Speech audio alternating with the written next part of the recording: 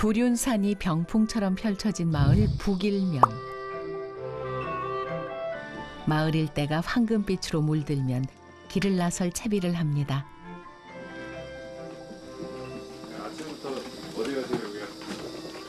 아침 오랜만에 해를 한번 맞이하러 갈 거예요. 아침에 아직도 이슬이 많은 것 같아요, 뭐. 아, 시원하면 좋아. 오, 느낌 최, 최고야, 최고. 최고지. 동이 트기 전 부부는 맨발에 산책을 나섭니다. 부부가 가꾸는 만 평의 차밭이 산책 코스. 정돈되지 않은 수풀 속에서 산자락의 고요를 느껴봅니다. 오래된 길이기 때문에 잘 알고 있고 그리고 이런 풀밭이 정말 부드러워요.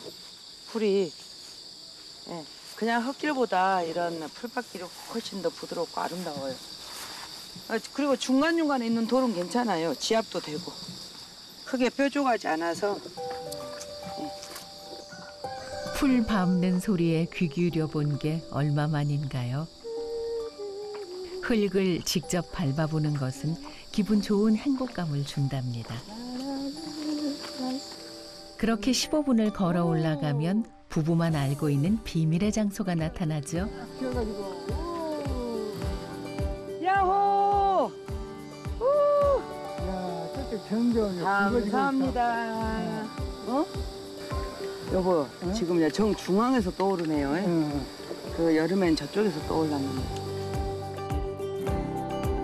땅끝 너머 바다 한가운데 우뚝 솟은 일출. 매일 보는 아침 해지만 볼 때마다 다른 빛깔을 보여준답니다. 피난이다 피날 은이다 하나님 전비난이다 나무아미 타불관샘 보살. 아멘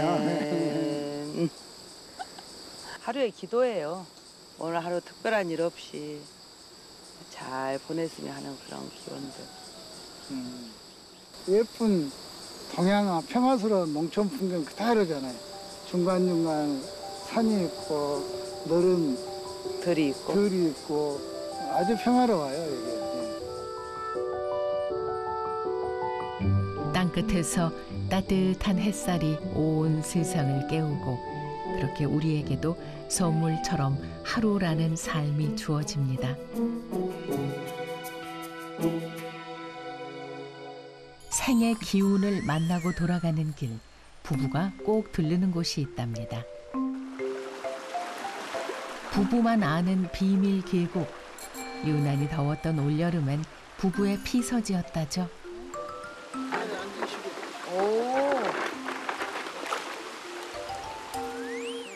이곳에 올 때마다 승근 씨는 조용히 아내에게 마음을 표현한답니다. 선이 복순이라더니 발도 복발이지 여보 덕발네. 어메 어메. 어, 서방님 또 발을 한번 또 시켜봐 줄까요? 얼씨구 어, 얼씨구나 에이고 우리 남편은 너무 날씬하고 예쁜 발인데 응?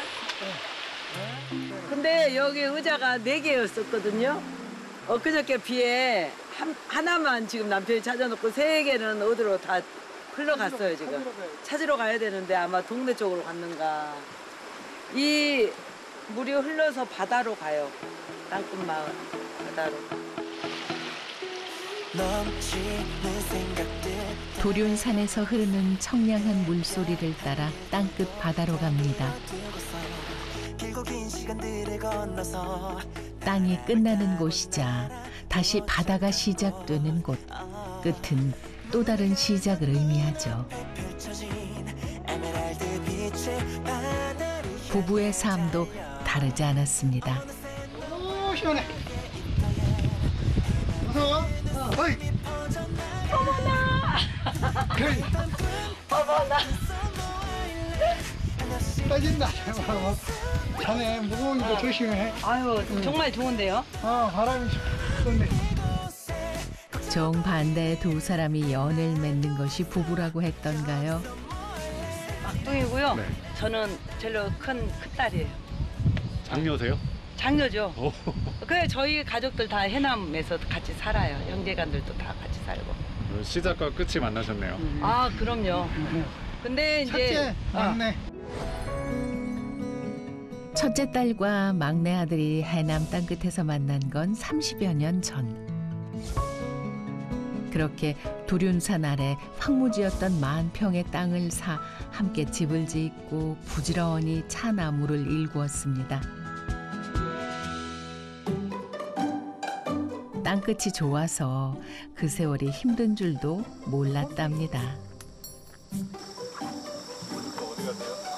어, 이웃집 모실러 왔어요. 이웃집. 부부의 차밭 끝자락에 자리 잡은 산골 마을에 가장 가까운 이웃.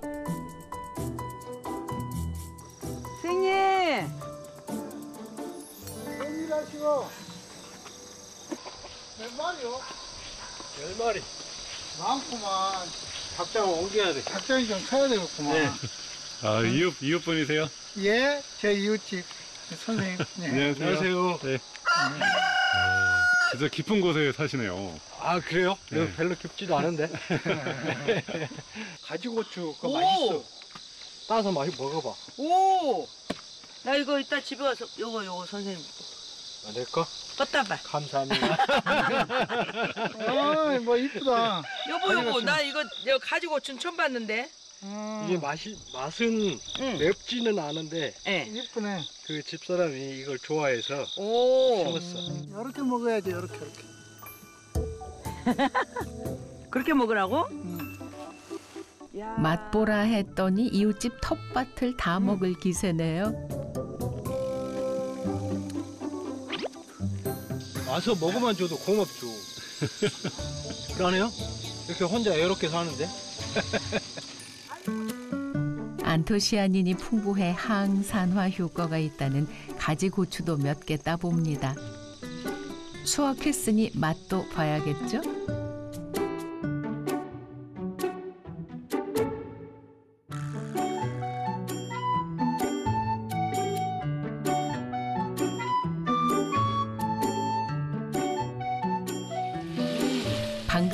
싱싱한 채소는 깨끗이 씻어 준비합니다. 오래 묵었거나 철이 지난 거 있으면 이렇게 이렇게 뿌려요.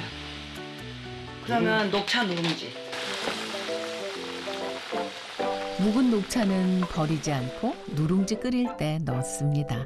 그러면 차향이 은근하게 퍼지면서 풍미 넘치는 녹차 누룽지가 된다는군요. 햇빛을 받아 빛깔이 고운 가지고추는 아삭하면서도 달큰한 맛이 일품.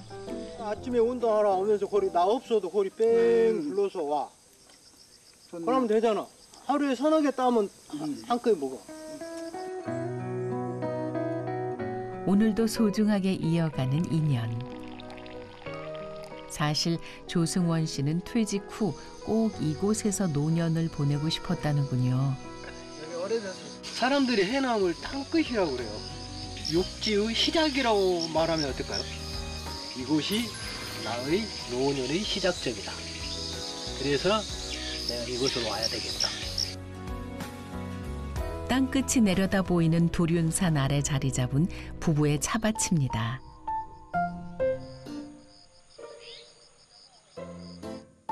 차밭은 첫 잎을 따는 봄이 가장 분주하지만 가을의 길목 지금도 일이 많답니다. 여기 이렇게 손님들 나네. 이야. 올해도 많이 열렸네요, 여보. 왜? 꽃좀 봐요.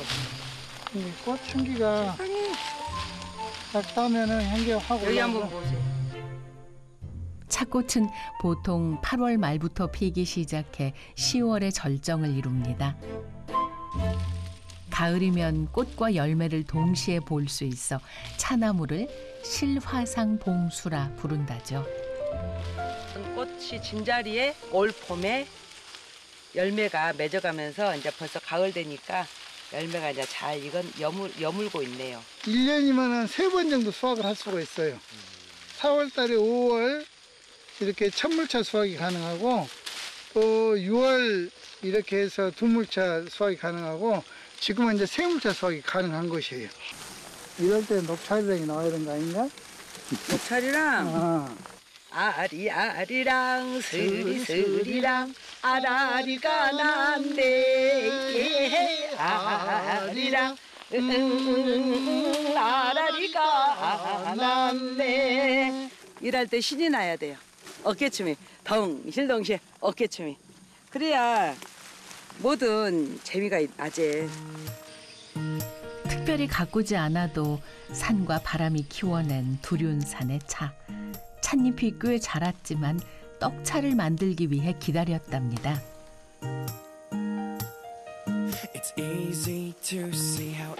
보통 마른 솥에서 덮어내는 차와 달리 떡차는 증기로 빠르게 찻잎을 쪄냅니다. 자, 떡차를 만들어 봅시다. 빠른 시간 안에 쪄내기 때문에 더끈 찻잎보다는 조금 더 순한 맛을 낸다는데요. 그 향이 은은하게 퍼져나갑니다.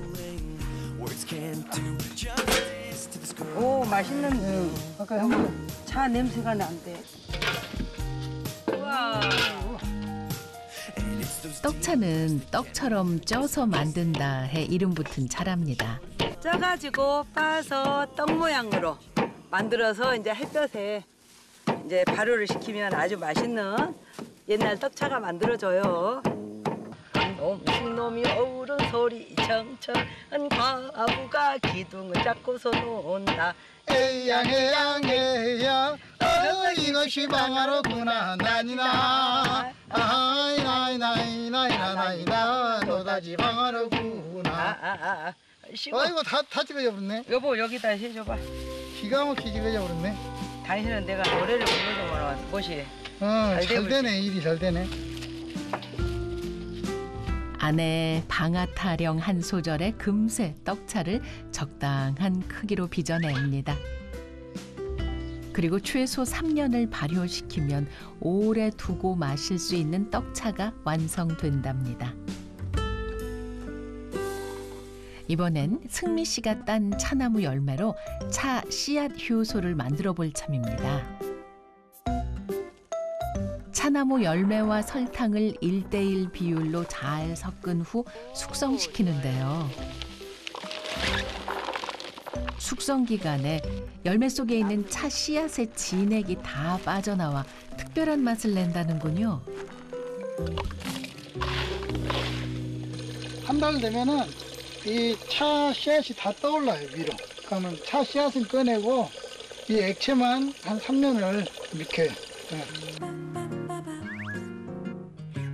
3년을 숙성시킨 씨앗 효소를 얼음잔에 넣은 후 탄산수를 채우면 색다른 효소 음료가 완성됩니다. 거기에 만든 이의 정성이 더해졌으니 맛이 있을 수밖에요. 일한 뒤에 마시는 거라 더 상쾌합니다. 땅 끝에서 누리는 행복이 이런 거겠죠.